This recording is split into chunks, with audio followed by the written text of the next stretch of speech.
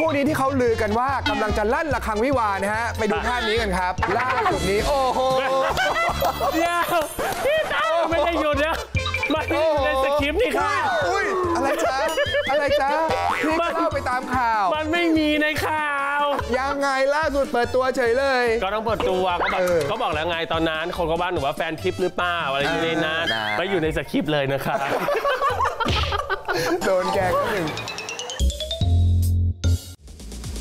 ข่าวช่อง 8 ครบเครื่องเคียงข้าง